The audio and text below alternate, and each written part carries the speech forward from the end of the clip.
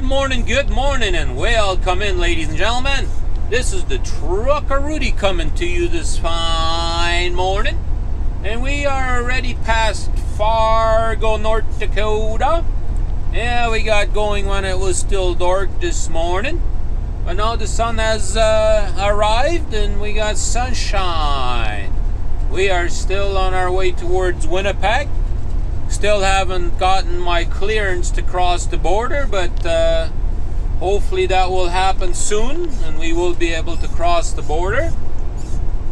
Mind you, I'm still about two and a half hours away from the border, but uh, you know, I just sent them a message. I said, hey, how's my PARS looking?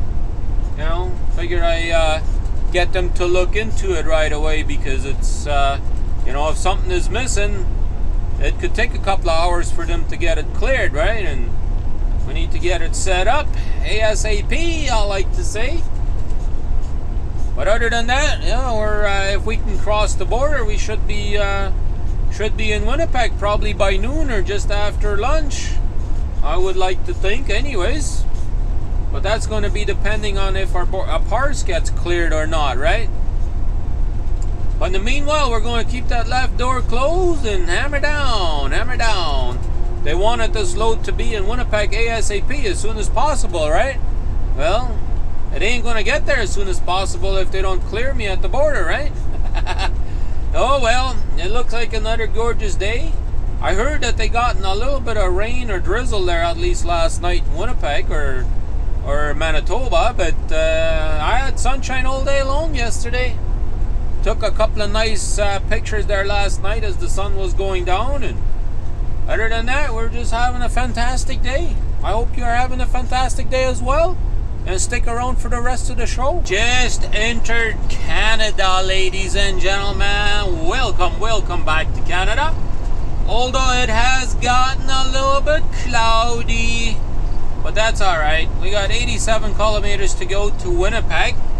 However, I gotta go all the way on around to the other side, so uh, I guess uh, that makes it 128 kilometers up to our delivery.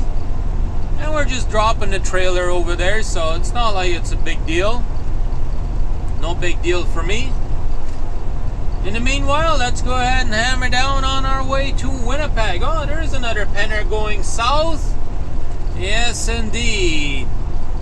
I looked like they had gotten a little bit of a rain here earlier this morning, which I guess that's okay. Wasn't too much of a rain, it looks like. Just a little bit to make everything wet a little bit, and that's about it. Looks like these farmers are going to be really busy here in the next little while, harvesting all their crop and getting it into bins and whatever. Well, I guess they're going to be really busy. So hopefully we will be busy here in the trucking industry too for the next little while. That would be really nice. Keep me busy, getting some big miles in hopefully here in the next trip. Obviously this trip we didn't do that many miles. A little bit of a short run, but oh well. Here we go guys. We have just finished doing our trailer drop at our customer here a little while ago. And then uh, I just uh, drove down to the terminal because it was only five kilometers down the road from where I dropped the uh, loaded trailers. So uh, went and talked to dispatch in there, and they said, "Yep, we got a load here going back to the yard in Steinbach." So uh, went and picked uh, picked that trailer up, and uh, here we are, back on the outskirts of Winnipeg, on our way home, sweet home. Got 40 kilometers to go, and we'll be at the house. Yeah, that's right. I like it.